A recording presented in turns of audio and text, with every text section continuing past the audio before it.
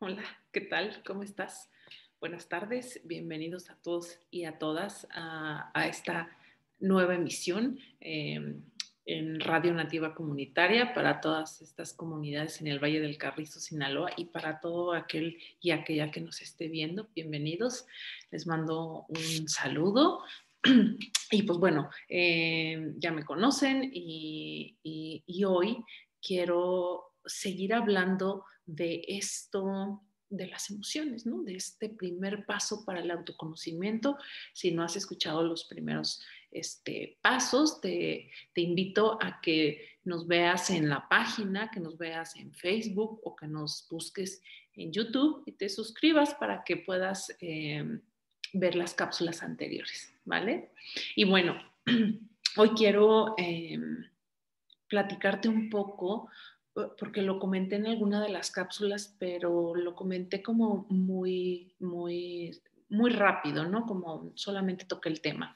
Y bueno, lo primero que te quiero decir antes de llegar a ese, lo que, lo que pasa cuando me trago todas estas emociones, cuando no las conozco, cuando no las identifico, cuando no las acepto, cuando no dejo que se desahoguen, te lo voy a contar en unos, en un, en unos minutos más.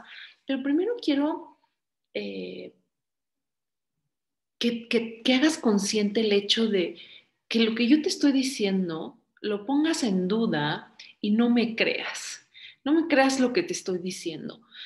¿Y por qué te digo esto? Porque quiero que te des cuenta que cualquier información que llega de afuera, ya sea, ya sea porque alguien me lo dijo, porque lo escuché en algún lado, porque alguien lo comentó de donde sea, no puede ser verdad hasta que no lo pongas en práctica. O sea, no puede ser verdad para mí algo que no he puesto en práctica. Puedo escuchar muchas cosas allá afuera, puedo saber de muchas cosas allá afuera, pero nunca voy a saber si funciona o no lo que el otro me está diciendo o lo que yo te estoy diciendo si no se pone en práctica. ¿Vale? Entonces yo te invito a que pongas en, e, esto en práctica y, y, que empieces cada vez a darte cuenta más de, de, estas emociones, ¿no? El primer paso, de cómo, cómo me lo, dónde lo siento, qué siento, darle espacio. Y bueno, te, te quiero comentar, como te decía hace unos minutos, ¿qué pasa cuando toda esta energía, toda esta toda esta energía de todas estas emociones que pasan en mí y que no soy consciente. Y que a lo mejor soy consciente porque sé que me estoy enojada y que estoy triste, pero no sé realmente dónde se aloja cada emoción y cuándo surge cada emoción y, y qué pasa, qué me pasa a mí con esa emoción. Entonces, cuando esta energía se, se acumula dentro de mí, ya sea de mucho tiempo atrás o de poco tiempo, pero que no fluye y que no la desahogo de alguna manera, pues lo que va a causar es enfermedades, porque como te decía, cada emoción se va a alguna parte de mi cuerpo.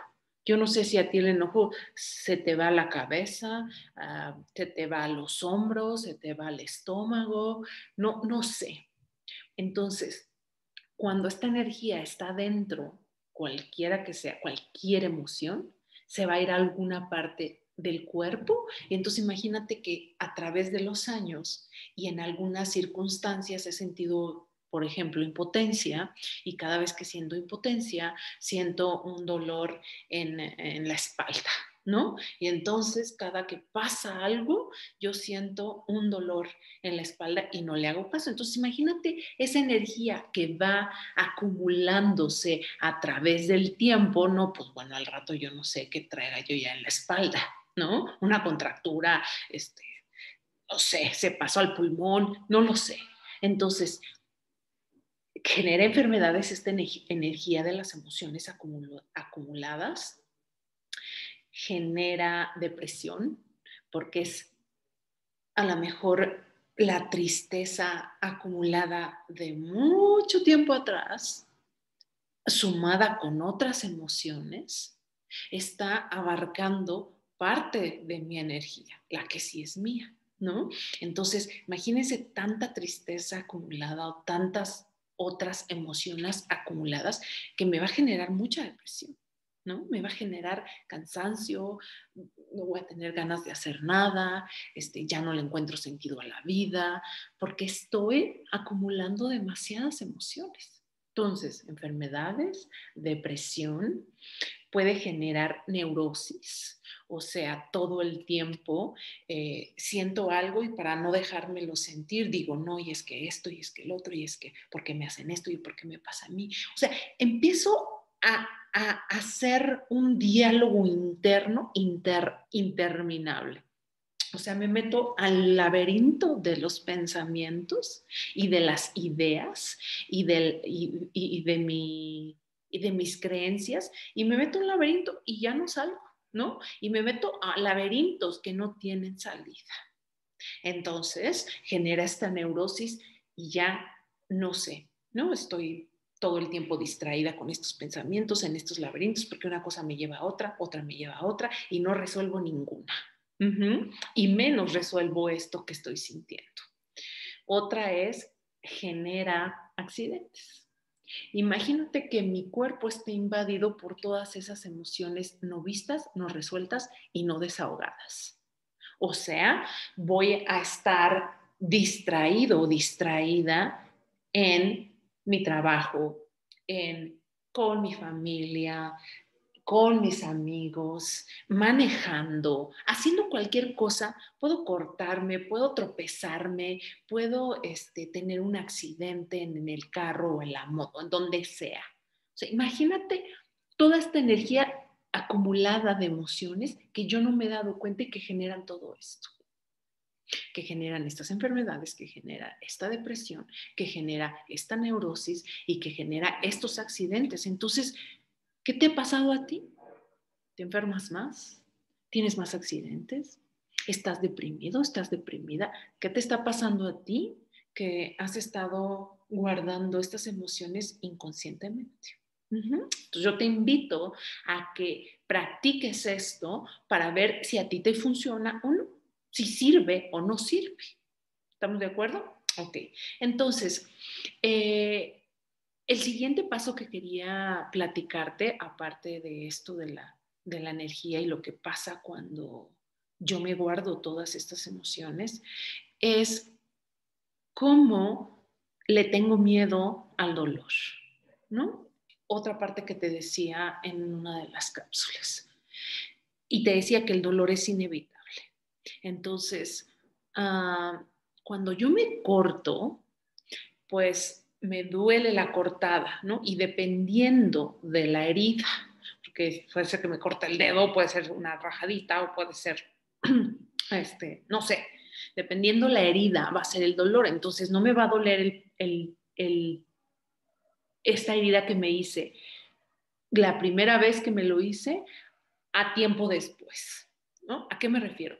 no solamente tenemos heridas físicas, sino también tenemos heridas emocionales. Y entonces, cuando esa herida surgió en el momento en que pasó algo allá afuera, en algún tiempo, pues resulta que yo no la sané.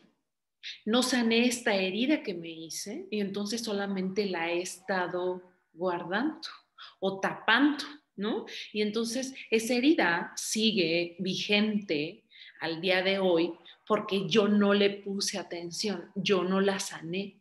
Entonces, cuando, cuando tengo un, un accidente, cuando, cuando me, me lastimo de alguna manera, pues el primer dolor va a ser inevitable, ¿no? Para ser, si yo me corto, no voy a poder evitar que me duela me va a doler y a lo mejor me dura una semana, si me hice una cortada más o menos, me dura una semana, me dura un mes, me dura tres meses, no lo sé, pero conforme va pasando el tiempo, el dolor va a ir disminuyendo.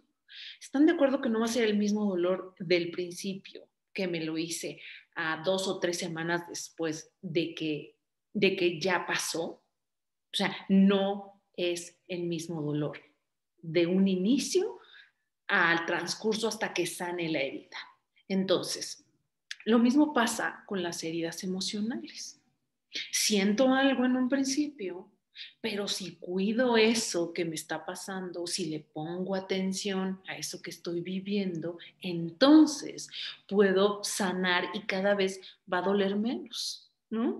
Si pierdo a alguien, si, si perdí el trabajo, si me corrieron, si, si, si no tengo dónde ir, si, si pasa cualquier cosa como hoy está pasando en la pandemia, eso, ese dolor que siento y ese sentimiento que estoy viviendo va a pasar en algún momento. No dura toda la vida, como te decía en la cápsula anterior. Entonces yo te invito a que a que practiques esto, a que lo hagas y lo lleves a cabo en tu vida cotidiana para ver si te funciona o no. Y que esto que sientes es normal. Cuando nos caemos y cuando algo nos pasa allá afuera, nos duele. Pero el dolor pasa. Es inevitable que me duela. Pero va a pasar, siempre y cuando yo cuide la herida y me dé cuenta que necesita esta herida física o emocional para que no crezca y no se haga más grande y al rato, bueno, ya traigo la herida, este, ya se me pudrió la mano, ¿no? De una heridita que me hice, ya al rato me tengo que cortar la mano porque, porque yo nunca atendí, nunca volteé, volteé a ver eso que me estaba pasando. Lo mismo pasa con las emociones, lo, mismo pasa con esto, con este dolor emocional. Entonces, yo te invito a que lo hagas y, pues bueno, me despido, eh, suscríbete, eh, mándanos mensaje, dinos qué opinas de esto, cómo te sientes, qué emociones están en ti más presentes, de qué te das cuenta o no. Y, y pues bueno, este, nos vemos la siguiente cápsula. Que tengas un bonito día. Bye.